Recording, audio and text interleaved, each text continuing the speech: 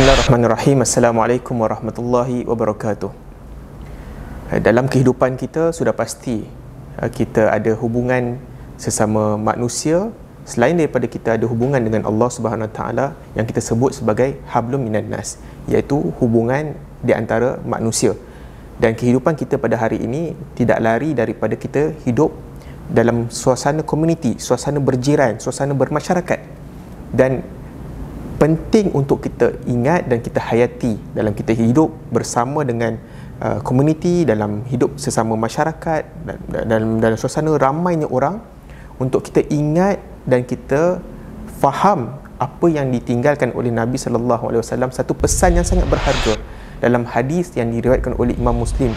Kata Nabi sallallahu alaihi wasallam la yadkhulul jannah man la ya'man jaruhu biwa'iqahu tidak beriman ataupun uh, sorry tidak masuk syurga seseorang itu selagi mana dia menyebabkan jiran dia tidak merasa aman disebabkan gangguan dia. Ini hadis yang diriwayatkan oleh Imam Muslim.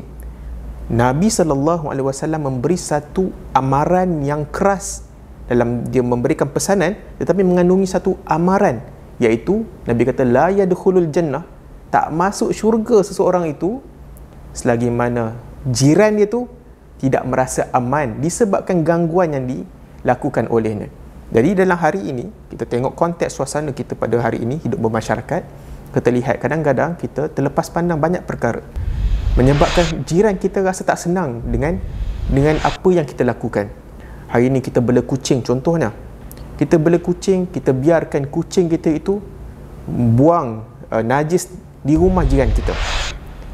Dan akhirnya yang terpaksa menanggung bau terpaksa membersihkan jiran kita. Kalau sehari mungkin tidak ada masalah. Tetapi kalau setiap hari akan menimbulkan rasa tidak aman pada jiran kita. Kadang-kadang di malam raya di malam perayaan kita bermain mercun contohnya. Membuat bising sehingga mengganggu jiran kita. Yang kemungkinan ada anak kecil yang kemungkinan mungkin ada orang tua yang mahu berehat yang sakit yang perlukan kepada suasana yang aman tenteram tetapi disebabkan bunyi bising mercun yang kita buat mengganggu ketenteramannya terutama pada waktu malam. Uh, kadang-kadang orang main pada waktu tengah malam sehingga mengganggu tidurnya.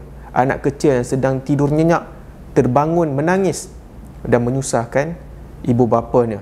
Jadi ini antara satu bentuk yang perlu untuk kita faham dan untuk kita hindari. Dan kadang-kadang ada juga dalam suasana kita hidup uh, di kawasan perumahan yang yang yang terhad uh, apa uh, untuk kita parking untuk kita letakkan kenderaan kita sehingga kita mengganggu kawasan rumah jiran kita. Uh, kita letakkan kereta kita sehingga mengganggu jiran kita untuk untuk keluar masuk rumahnya. Itu juga satu bentuk gangguan yang menyebabkan jiran kita tidak merasa aman.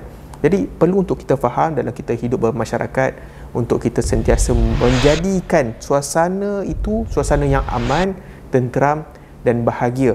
Kerana perlu kita ingat dalam kita hidup hablum minan nas uh, iaitu uh, ada hubungan di antara manusia ini terutama bila kita ada jiran, jiran inilah yang akan menjadi orang pertama yang akan memberikan bantuan sekiranya berlaku apa-apa masalah kepada kita, kepada keluarga kita.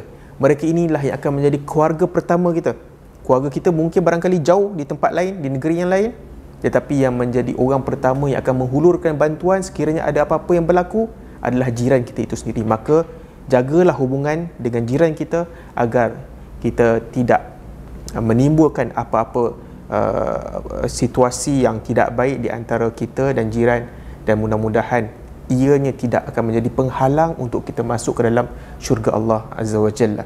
Jadi mudah-mudahan kita boleh ambil manfaat dan iktibar daripadanya. Assalamualaikum warahmatullahi wabarakatuh.